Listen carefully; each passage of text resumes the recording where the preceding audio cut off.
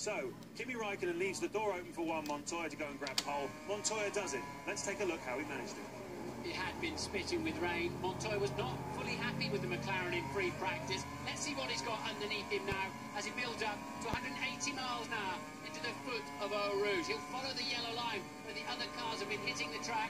Did only take a very slight lift. Nonetheless, absolutely full throttle on the top. He's still in sixth gear. There's another one to go yet. There it is, and accelerating up to about 206 miles an hour, braking 90 metres before the corner and just trying to run those rumble strips. He knows he's on the right line then. Very hard on the throttle and early twos. Feeling good grip and balance from the McLaren. The early tight line into the rivage hairpin. Another sweeping left-hander that will carry him down the hill. Oh, a little bit of a swapper there. He had to correct briefly. Go on then. It's about 180 on the way in, 150 through the first part.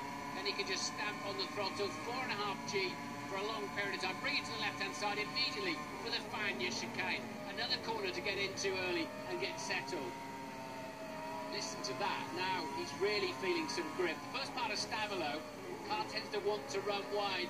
He was taking a lot of curb on the inside, got away with it. Absolutely full throttle. Look at the clouds threatening, but the track is still dry enough. Blanchimont coming up, 190 miles an hour. He's just going to coax this with the merest turn of the steering wheel. He's thinking now about a braking point for the bus stop chicane. Bring it down to about 70 miles an hour.